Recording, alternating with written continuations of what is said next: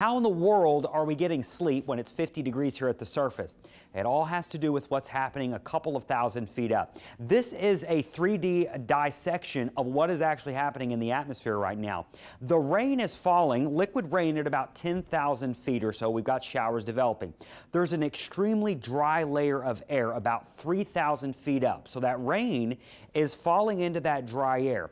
Well, through thermodynamics, when rain or anything liquid falls into dry air, it's going to evaporate. And when a liquid evaporates, it cools off the surrounding environment around it. So that rain is falling in, it's drying out, it's evaporating, and it's turning the air colder here.